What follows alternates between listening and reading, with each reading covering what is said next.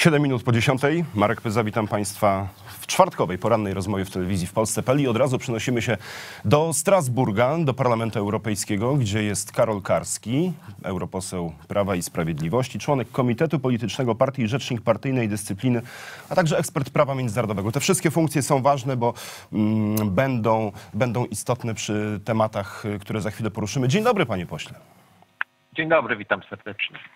Panie pośle, wczoraj Przejął gabinet w Alejach Ujazdowskich, a już dziś pierwsza podróż zagraniczna, pierwsze ważne spotkania, rozpoczynający się dwudniowy szczyt Rady Europejskiej, na którym nowy premier Mateusz Morawiecki będzie miał okazję już niebawem do pierwszej rozmowy w cztery oczy z prezydentem Francji. Będą inne mm, ważne spotkania. W ostatnich dniach, przez ostatni tydzień, kiedy dowiedzieliśmy się, że to Mateusz Morawiecki zastąpi Beatę Szydło, słyszeliśmy wielokrotnie z ust polityków Prawa i Sprawiedliwości o tym, że ta zmiana mm, jest podyktowana między innymi y, potrzebą poprawy mm, naszych relacji zagranicznych, między innymi ocieplenia stosunków z Unią Europejską. Proszę w takim razie powiedzieć, y, co dziś zobaczymy w tej materii, w czym będzie się y, objawiać, jeśli to już ma nastąpić, ta inna relacja pomiędzy liderami europejskimi a polskim premierem.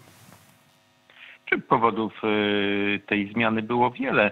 Y, z pewnością pani premier Beata Szydło była bardzo dobrym premierem, natomiast y, w tej chwili y, mamy do czynienia z pewnym przesunięciem akcentów. Pani premier Szydło zajmowała się szczególności kwestiami polityki społecznej. Będzie to nadal czynić jako wicepremier odpowiedzialny za sprawy społeczne.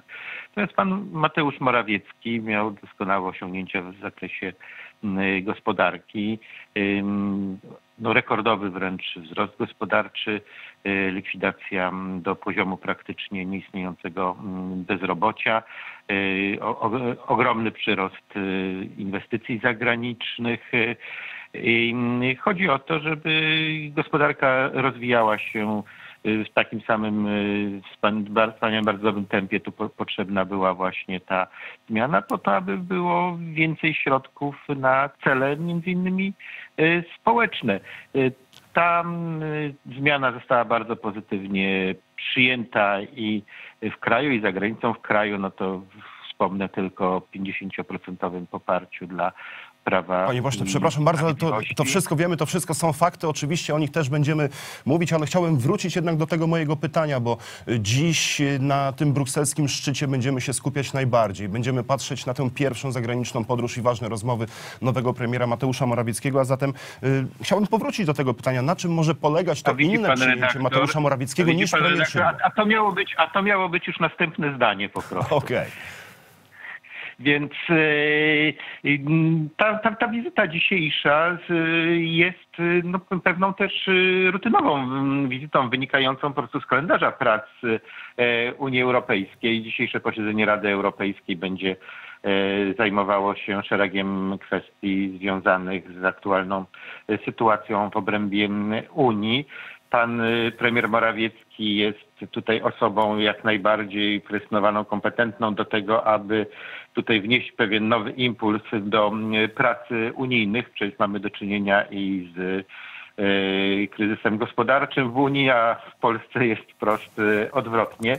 Ale także tutaj można przypuszczać, że przedmiotem prac, przedmiotem obrad Rady Europejskiej będą kwestie uchodźców, będą kwestie związane z E, relokacjami. Tutaj stanowisko polskie jest stałe, trwałe.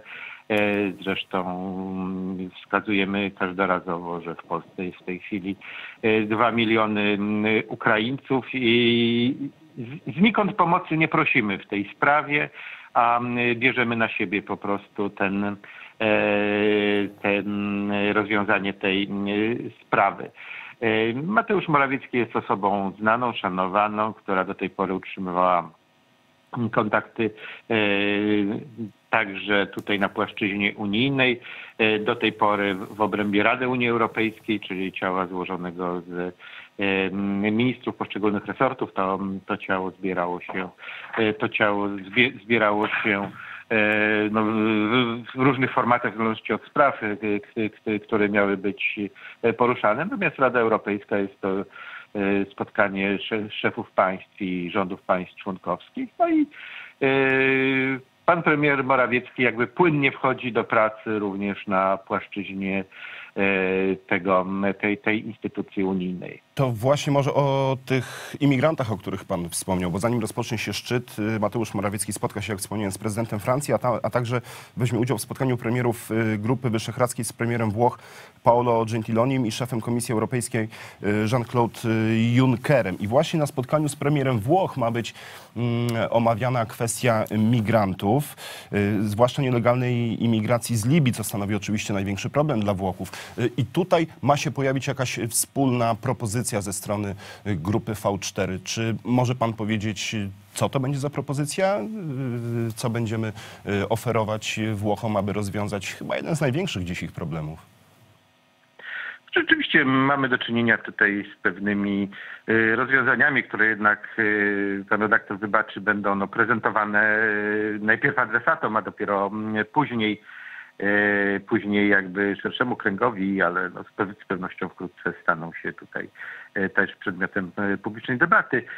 Natomiast jedno jest pewne, cieszymy się z tego, że Włochy dostrzegły problem, że rozpoczęły ograniczanie migracji. Przecież kwestie te można było no, rozwiązać już bardzo dawno temu, gdyby to Grecja nie przepuszczała migrantów, e, którzy przypływali na jej wybrzeże z Turcji, gdyby Włochy nie dopuszczały e, istnienia tego przestępczego procederu przemytu ludzi z Afryki Północnej, głównie z Libii, gdyby Hiszpania również podjęła określone działania przeciwko przemytowi ludzi z Maroka na swoje terytorium. Te kwestie, tutaj widzimy zmianę nastawienia poszczególnych państw. Więc ten problem jakby w sposób naturalny Y, kończy swoje istnienie. No, no, przepraszam bardzo, tu się nie zgodzę. Ten problem w naturalny sposób się nie skończy. On wciąż jest nabrzmiały i daleko jeszcze chyba do jego rozwiązania. I zanim o tej zmianie nastawienia w, różnych państwach Unii Europejskiej, to chciałem może po prostu o Pana opinię zapytać, jak Polska może pomóc, jak w ogóle Europa może pomóc Włochom rozwiązać ten problem? No bo wiemy, że y, on, oni z tym problemem zmierzają się na co dzień. Te y, tysiące, dziesiątki, nie, no, dziesiątki tysięcy powiedzmy nielegalnych imigrantów są na terenie Włoch. Co z tym zrobić teraz? Znaczy, no powiedzmy sobie szczerze, gdyby ich nie przyjmowali, to by ich tam nie było. Gdyby nie tolerowali Yy, funkcjonowania ze swojego terytorium statków, które, yy, które przyjmowały od przemytników na morzu tych migrantów, to oni również by tam się nie znaleźli. Znaczy musimy, musimy mieć świadomość tego, że żyjemy w pewnej wspólnej przestrzeni. Polska przyjmuje migrantów z Ukrainy, z państwa, w którym toczy się konflikt zbrojny. Doskonale radzimy sobie z tym problemem, nie prosimy nikogo o pomoc. Także Włochy w jakiś sposób tutaj zmieniły swoją dotychczasową e, politykę, więc, e, więc ja bym się nie zgodził z tezą, że ten problem w dalszym ciągu istnieje, w tym sensie, że będzie nabrzmiewał. On będzie jakby się rozwijał w tym, w tym zakresie, że wpuszczono ileś osób i trzeba, i trzeba podjąć działania mające na celu ich szybką weryfikację, dopełnienia do końca procedur które są przewidziane w konwencji genewskiej o, statusie uchodźcy z 1951 roku, czyli po prostu odrzucić 99% wniosków, bo to nie są uchodźcy, tylko y, w 99% migranci ekonomiczni I, i po prostu te osoby powinny z powrotem znaleźć się w państwach, y, z, z których terytorium zostały przemycone do Europy.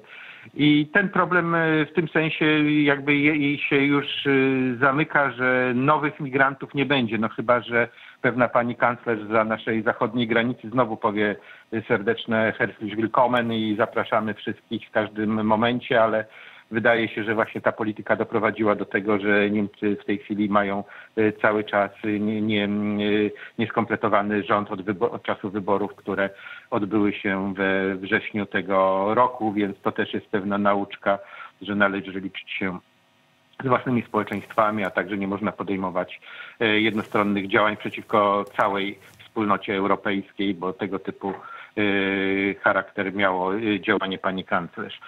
To wszystko, to wszystko, co pan mówi, panie pośle, to oczywiście jest stanowisko polskiego rządu i ono od, od dwóch lat i ono się wydaje jak najbardziej I racjonalne ono w jest obliczu niezmienne, tego, co i się, ono jest niezmienne. tak, co się dzieje w ostatnich kilku latach e, w Europie. Widać, że te nastroje się zmieniają, a najlepiej to widać po ubiegłotygodniowym liście, nocie, którą przewodniczący Rady Europejskiej Donald Tusk wysłał do stolic państw unijnych, w której to nocie napisał, że e, program przymusowej relokacji nie zdał egzaminu, że okazał się on błędem.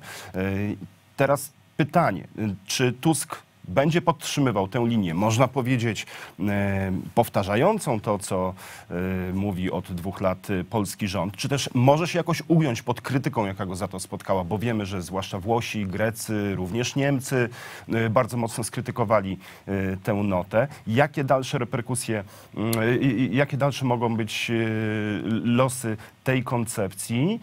No i oczywiście pytanie, jak to się przełoży na siłę Polski i polskiego stanowiska w tej sprawie? Czy, czy, czy rząd polski może liczyć na wsparcie Donalda Tuska? Czy tak to możemy czytać? Znaczy mam pewne obawy co do stanowiska Donalda Tuska, bo y, y, jego działalność na forum unijnym to w zasadzie do tej pory były pewnego rodzaju y, deklaracje, które y, y, składane niekiedy pod jakimś przymusem medialnym, które następnie nie przekładały się na rzeczywistość. To bywało tak, że y, mówił coś, a następnie po, w ogniu krytyki podkulał ogon i y, wycofywał się ze swojego stanowiska. Więc obawiam się, że tak może być i w tym momencie, aczkolwiek y, byłbym y, przyjemnie rozczarowany y, zmianą tej postawy i y, podtrzymywaniem, ale skutecznym podtrzymywaniem przez przewodniczącego Tuska y, tego stanowiska, które wyraził w swoim liście, ale już widać, że y, wczoraj został dosyć y, ostro skrytykowany przez swoich mocodawców europejskich i no w tej sytuacji obawiam i, i zamilkł, i zamilkł. W związku z tym obawiam się, że poza warstwą werbalną tutaj, tutaj wiele, wiele mm, z tych oświadczeń y, nie wynika, ale, ale obym się przyjemnie rozczarował. Znaczy stanowisko rządu polskiego jest jasne, stałe. Y, W Polsce nie mamy do czynienia z zamachami. Na, w Europie Zachodniej są one czymś powszechnym. Gwałty, rozboje, grabieże dokonywane przez migrantów nie są już nawet komunikowane opinii publicznej, są po prostu dniem d- czymś codziennym, więc y, y, no, to po prostu no, nikt z nas nie zdejmie obowiązku ochrony naszych obywateli, zapewnienia bezpieczeństwa e, naszym e, rodakom. Możemy się tak, tylko tego mm, spodziewać, ale także żądać od innych, żeby e, u nich także był, był, był spokój i bezpieczeństwo, bo w tych zamachach w zachodniej Europie także giną obywatele Polski. Absolutna prawda. Mm, Panie pośle, wróćmy w takim razie do Mateusza Morawieckiego. Jak y, europosłowie, może w kuluarach, oceniają tę zmianę w polskim rządzie? Co o niej mówią? Co wynika z pana rozmów? E, Tak jak mówiłem, Mateusz Morawiecki jest osobą dobrze znaną w Unii Europejskiej, jest osobą pozytywnie ocenianą poprzez pryzmat swoich osiągnięć mm, gospodarczych. Wskazuje się, że na tym polu Polska ma bezprecedensowe sukcesy. Tak jakby w, w porównaniu z innymi państwami członkowskimi, jak i w odniesieniu do tych wszystkich wskaźników, z którymi mieliśmy do czynienia poprzednio w Polsce.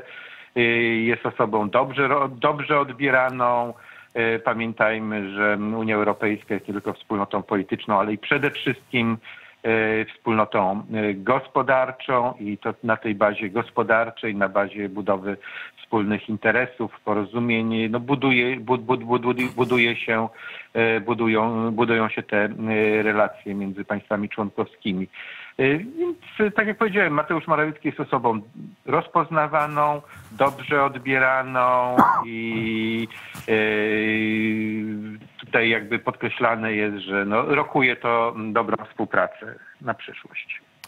Powiedział pan w rozmowie z Rzeczpospolitą y, w tym tygodniu, że najlepszym premierem byłby Jarosław Kaczyński. I liczę, że da się przekonać do tego, żeby jeszcze został szefem rządu.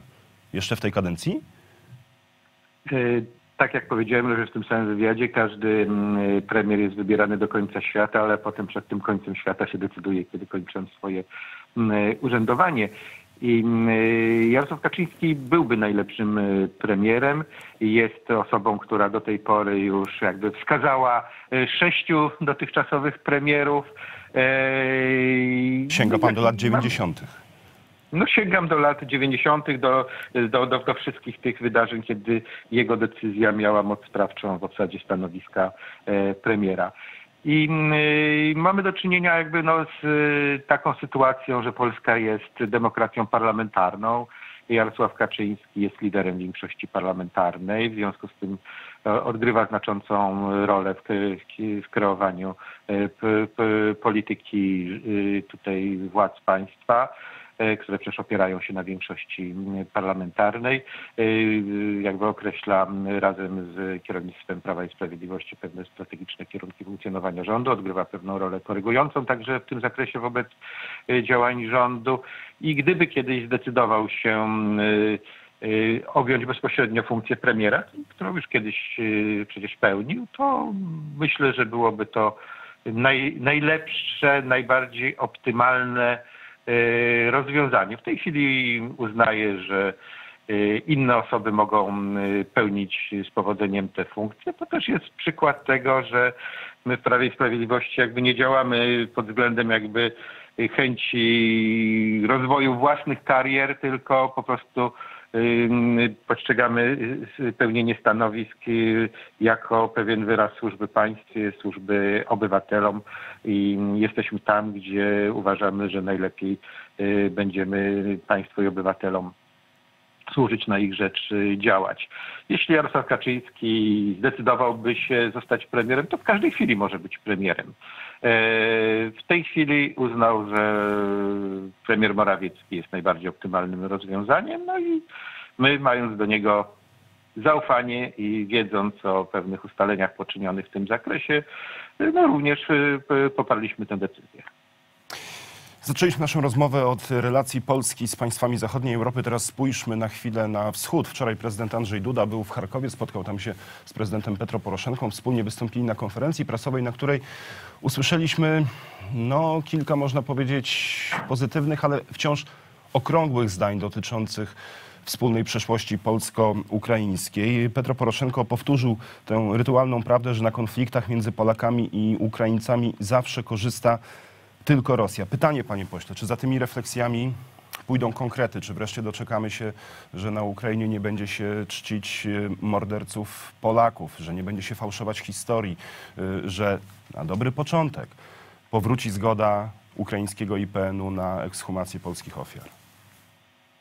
Znaczy myślę, że strona ukraińska powoli zaczyna rozumieć, że ta polityka, e, w której Y, zakładano, iż Polska nie ma innego wyjścia niż tylko popierać Ukrainę y, bezgranicznie i bez jakiejkolwiek refleksji, no, y, no nie jest w pełni efektywna. Znaczy, jest rzeczą oczywistą, że istnienie Ukrainy, a zwłaszcza demokratycznej Ukrainy między Polską a Rosją, no jest korzystne dla Polski. Natomiast e, i Polska będzie wspierać państwowość Ukrainy, będzie także wspierać procesy demokratyczne na Ukrainie.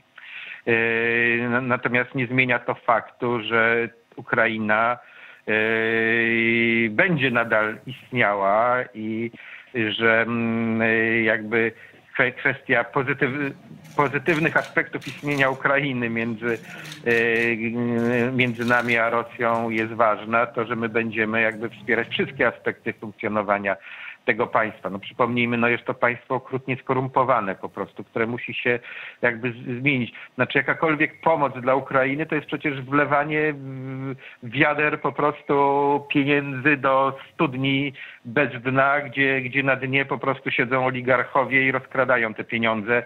Y, to, to, to by było jedno z najbogatszych państw świata, y, gdyby, y, gdyby te pieniądze nie były wyprowadzane z tego państwa, gdyby, gdyby to państwo dzieliło się z, jakby swoim bogactwem z obywatelami. Tak jak na przykład czyni się to w Polsce, także czyni się w państwach unijnych. Natomiast tam po prostu jest to na co dzień rozkradane i jednocześnie do tego dochodzi budowanie ukraińskiej państwowości na na no, pewnych wydarzeniach historycznych, no, które nie są wydarzeniami pozytywnymi. No, nie można czcić morderców i stawiać ich za wzór przyszłych pokoleń. Ukraińcy to powinni zrozumieć i mm, liczymy na to, że tutaj pewne, do pewnych przewartościowań w ich postawie dojdzie. Tak jak powiedziałem, istnienie niepodległej ale także i demokratycznej Ukrainy, bo demokracja stabilizuje funkcjonowanie państwa i jest bardzo korzystne z punktu widzenia Polski. Natomiast ta Ukraina już istnieje i nic nie zapowiada się, aby w szybkiej perspektywie miała upaść, czy coś złego się miało z nią stać, niezależnie od tych konfliktów na jej wschodniej granicy. To musimy dbać również o to, żeby te relacje były jakby nie bezwarunkowo zapatrzone po prostu w dogmat y, y, i wszystko, co pochodzi z Ukrainy, no, powinno być wspierane. Należy wspierać rzeczy pozytywne, natomiast należy, e, należy ganić rzeczy negatywne, jak na przykład e, korupcję, zły system funkcjonowania administracji publicznej. Yy, Unia Europejska ciągle domaga się reformy sądownictwa na Ukrainie, które jest niewydolne i skorumpowane. Yy, także i, i, przez długi czas było to w ogóle przeszkodą w ratyfikacji układu stowarzyszeniowego z Unią. Myślę, że przed Ukrainą jest bardzo dobra przyszłość i ponieważ traktujemy Ukrainę poważnie, ale jednocześnie jej dobrze życzymy, to nie będziemy tak bezrefleksyjnie po prostu spoglądać na wszystko, co się tam dzieje. Będziemy im pomagać również w ten sposób, że będziemy zwracać uwagę na to, kiedy E, kiedy mm, odwołują się do niezbyt chlubnych aspektów swojej przeszłości. A odwołują się właśnie niestety, bo poza mm, cytowaną wcześniej przeze mnie wypowiedzią Petro Poroszenki mieliśmy na tej konferencji prasowej jeszcze jedną, y, już mniej optymistyczną, bo zapytany y, o jego opinię na temat Stepana Bandery odpowiedział, to znany ukraiński działacz, człowiek, który wniósł bardzo wiele do ruchu narodowo-wyzwoleńczego. To jest sprawa historii i Ukrainy. To, jest wypowiedź, można mówiąc bardzo oględnie, mało satysfakcjonująca. Znaczy myślę, że gdyby kanclerz Merkel odwołała się do Adolfa Hitlera, byłby to powszechny skandal. Zresztą trudno sobie wyobrazić, aby jakikolwiek szanujący Niemiec, szanujący się Niemiec odwoływał się do Adolfa Hitlera. Zresztą poczynili oni bardzo wiele starań aby odciąć się od swojej nazistowskiej przeszłości, ukarali sprawców, nikt ich tam nie, nie gloryfikuje i Ukraińcy powinni wziąć przykład właśnie z Niemców, jak można rozliczać się ze swoją e, przeszłością. Oczywiście nie wszystko jest jakby rozwiązane do końca, natomiast e, niech Ukraińcy zaczną czerpać z dobrych europejskich wzorców, morderców, nazistów czy ich popleczników się nie gloryfikuje. Tylko się zgodzić. Dziękuję bardzo. Karol Karski, europoseł Prawa i Sprawiedliwości, członek Komitetu Politycznego. Dziękuję serdecznie. PiS był gościem telewizji w Polsce.pl. Można, y, nawiązując do tego ostatniego wątku naszej rozmowy, przypomnieć tylko, że y, tak Bandera, jak i Hitler byli odpowiedzialni za ludobójstwo. My do tego tematu jeszcze dziś y, w najbliższym czasie wrócimy. E, pokażemy Państwu wypowiedzi wczorajszej prezydenta Andrzeja Dudy i prezydenta e, Petra Poroszenki. Wczoraj w Charkowie razem z delegacją prezydencką był nasz dziennikarz Marcin Wikło, a już za chwilę zajrzymy do dzisiejszej prasy. Zostańcie Państwo z nami.